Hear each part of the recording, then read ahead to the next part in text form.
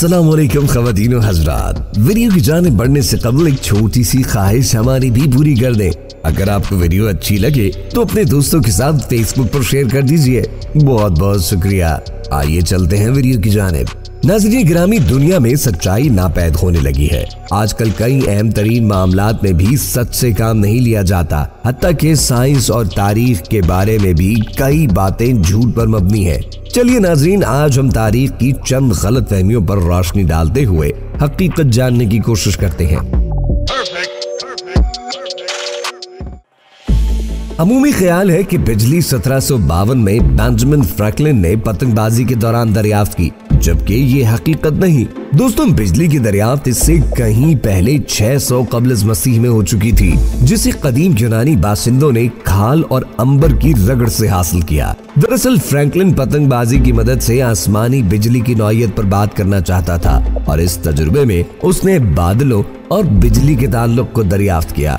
उसने बिजली की तारीफ़ जानने के लिए बादलों की गरज चमक के दौरान खास किस्म की डोर से पतंग उड़ाए और साबित किया कि गरज चमक में बरकी तवानाई मौजूद है। यानी आसमान से गिरने वाली बिजली नुकसानदेह साबित हो सकती है। इस तजुर्बे में उसने डोर के सिरे पर धात का एक बारीक सा टुकड़ा बाँध दिया। बादलों के दरमियान इस पर खास किस्म का तनाव पैदा होने से उसने हाथ पर झटका महसूस किया। यानी उसका बादलों में करंट की मौजूदगी साबित करना कामयाब रहा।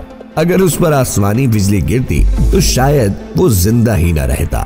नजरीन आपने सुन रखा होगा कि दीवारें चीन चाँद से भी देखी जा सकती है। हालाँकि ऐसा हरगिज नहीं है। चाँद पर इंसानी आँख से जो जमीनी अशिया देखी जा सकती हैं, उनमें दीवारें चीन का नाम शामिल नहीं ये गलत फहमी उन्नीस सौ अड़तीस में पैदा हुई जब रिचर्ड हेलिबर्टन ने अपनी किताब सेकेंड बुक ऑफ़ मार्वल्स शाये की जिसमें उन्होंने लिखा कि दीवारें चीन चाँद से नज़र आने वाली दुनिया की वाहिद शह है जबकि उस वक्त तक किसी खलाबाज ने चाँद पर कदम तक नहीं रखा था न ही इस हवाले से कोई तहकीक मंजर आम पर आई थी कि चाँद से कौन कौन सी अशिया देखी जा सकती हैं। नाजरीन, गिरामी अगरचे इसकी लंबाई इक्कीस हज़ार किलोमीटर से भी ज़्यादा है, मगर चंद मीटर चौड़ी दीवार को लाखों किलोमीटर दूर गर्दिश करने वाले चाँद से देखना यूँ ही होगा जैसे कुछ किलोमीटर के फासले पर एक बाल देखना, जो कि किसी तौर मुमकिन नहीं।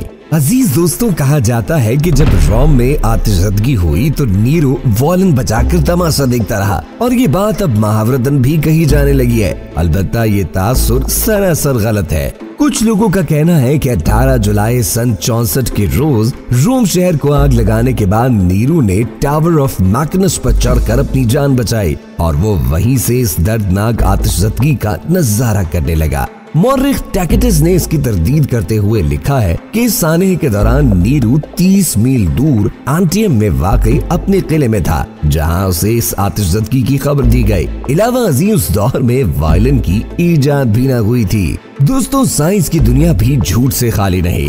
मिसाल के तौर पर न्यूटन और सेब के वाक्य को ही ले लीजिए। बिला बिलाशुबा न्यूटन अपने वक्त का अजीम तरीन साइंसदान था, लेकिन सच नहीं कि उसने अपने सर पर सेब गिरने के बाद कशिश शक्ल दरियाफ्त की। नाजरीन, न्यूटन के अवलीन बायोग्राफर विलियम स्टकली के मुताबिक 1666 में जब यूनिवर्सिटी ऑफ़ कैम्ब्रिज को किसी वबा के बायस बंद कर दिया गया तो न्यूटन अपने लैंकशायर में वाकई घर छुट्टियाँ मनाने पहुँच गया। वहीं क्रोज दरख्त के साय में चाय की चुस्कियाँ भरते हुए न्यूटन ने बताया कि वो अक्सर इसी दरख्त के नीचे बैठा करता था, जब उसने देखा कि सेब हमेशा ऊपर को जाने की बजाय ज़मीन पर गिरता है और शायद अशिया ज़मीन के मरकज की जानिब बढ़ने की कोशिश में सतह पर आ गिरती हैं। और इसी बुनियाद पर उसने कशिश शकल का फॉर्मूला दरियाफ्त किया था।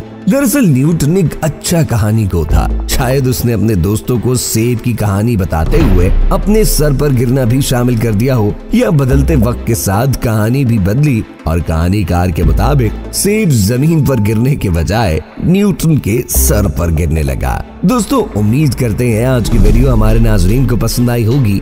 इंशाल्लाह कल फिर किसी दिलचस्प मौजू के साथ आपकी खिदमत में हाजिर होंगे। अल्लाह निगेबान।